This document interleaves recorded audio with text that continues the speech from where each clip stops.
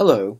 Do you have experience watching a foreign movie or a television show with subtitles, but you were not comfortable reading them for some reason? Maybe the subtitles were not in sync with the audio, or maybe there were too many characters per line, and so on. This is where our sync functionality can come into play. When you first log into MediaCat, the first page you will see is a sync page. Now let's create an actual sync task. First, select this media file from your local drive and upload it to sync, or you can just drag and drop your media file here.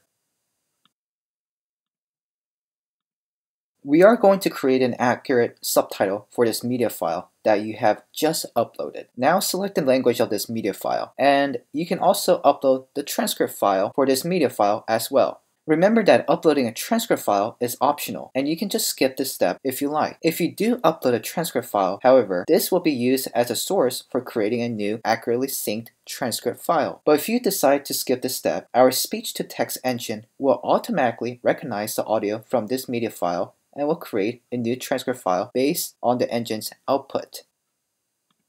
Now it's time to configure the settings for that new transcript file we are about to create. All of these configurations you set here will be applied to the newly created transcript file. I will not get into explaining them in depth because you can view the explanation for each of them by clicking on their fields here and a detailed explanation will pop up on the right side of your screen. After that, you can select the output file format. If you want your newly created subtitle to be in an SRT format or in PAC or in whatever format, you can just select that here. Now, let's click the Create and Run button and finalize the sync task creation. We are now back to our initial page. This circle is our status icon. Now the color for this icon is yellow, which means that our task is currently being created. The waiting time depends on the media file size that you have uploaded and the speed of your local connection. Once the task creation is complete, the status icon will turn to green.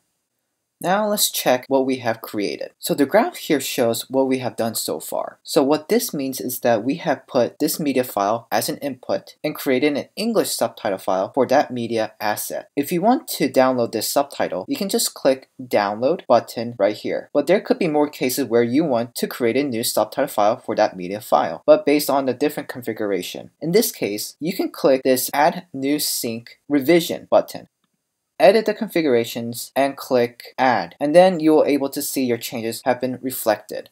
This is how you use our sync task where you create a subtitle file. Thank you.